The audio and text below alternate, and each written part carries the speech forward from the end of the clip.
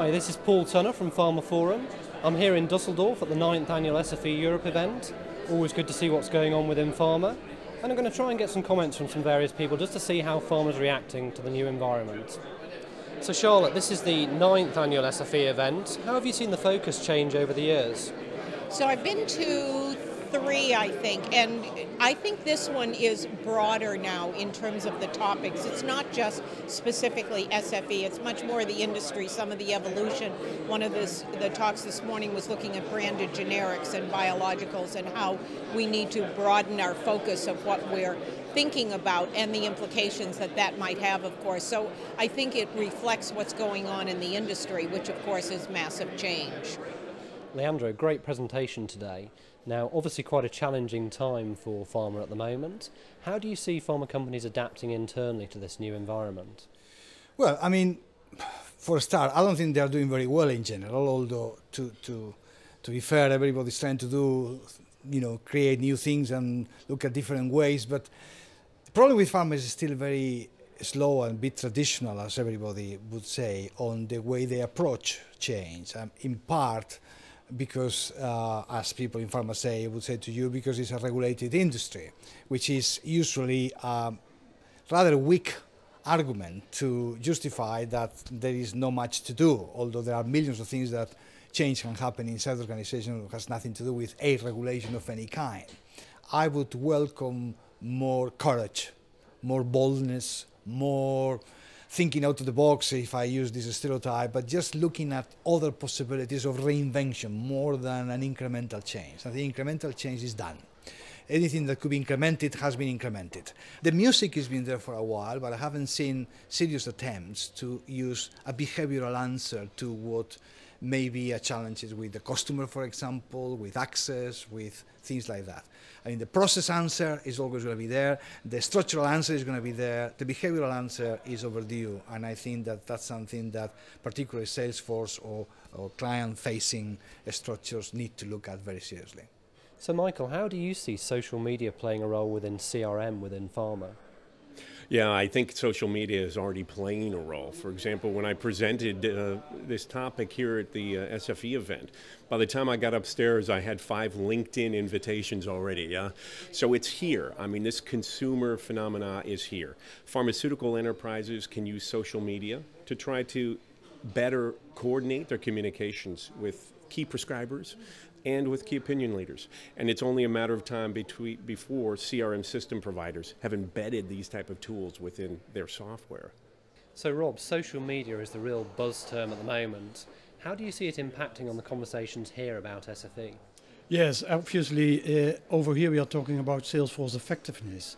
And what I see is that social media is really coming up here, but they are sort of in their discussions, as I might say, a little bit behind. Because the first thing that a pharmaceutical company has to envision is how to integrate the different tools, approaches, uh, IT uh, things, etc., into one larger picture of how do we want to evolve towards the next approach to the market. Specifically, while the markets are so much differentiating between them, like the emerging markets, like the major markets, and the normal markets. And probably, I think a lot of uh, vendors will will team up with pharma, like pharma has to team up with healthcare providers to make better care for obviously the patients. And that is the thing that I haven't heard so much in Salesforce effectiveness conferences, the name of the patient, and that it, that we do it all for them in the end. And I think that will move centrally, more centrally, to the pharmaceutical companies themselves. Since since a pharmaceutical company is only well, say now it would, would be an insult, but, but only recently uh, developing ways of how can we reach with our information and services the patients to create better care. It is a long way that they come from, and it will be very difficult to go that way. Thibaut, so how do you see new technology playing a part in SFE now? Well, we, uh, we've seen that uh, most of the uh, life science companies have uh, been adopting or testing new technologies uh, because it has a real impact on the way they can interact with the customers. And it's uh, incredible to see how the, for example, the iPads, the new tablets, have changed the, the, the game uh, with the, uh, in the relationship of the uh, sales reps with the healthcare professionals. Because now you can really completely uh, use the uh, multimedia capabilities of the tablets, which were already existing on tablet PCs, but uh, with the instant-on capabilities of the iPad and all the functionalities that we can embark on that and link to the CRM application, it's completely different. So now, I mean, the, this technology is really there to enhance, to improve the relationship and the impacts of the uh, call that the uh, pharmaceutical company are doing on physicians. Critical. And are you seeing this technology being used by many companies? Yeah, yeah, it's incredible. And we, if you look at the uh, at the forecast from Gartner or the analysts, they predict that in the next two or three years, the market would completely switch from the uh, old laptops to tablet PCs, to, to tablets, uh, uh, touch tablet like the iPad or the Android or all the other which are coming into the market now. Mark, you're this year's winner of Pharma Idol with eyeforpharma and here as a territory manager. From your perspective on the ground, what's the real key to getting SFE right? The key for me in getting SFE right is as follows.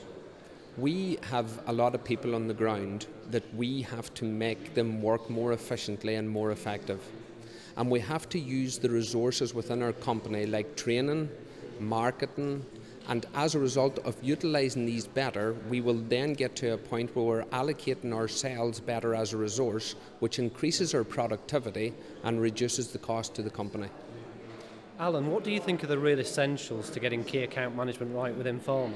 The essentials for me are that one, it has to be right for your organisation. So you've got to do some research work to make sure that key account management is right for you, your company, and the customers as well. I think if you make the decision that it is right, then it's got to come from top. The support from senior management, from the top right down, has to be put in place. And then you basically have to make sure that you train your people accordingly. Uh, I can't emphasize enough how much training and coaching you have to put in place in order to support people through the key account management journey.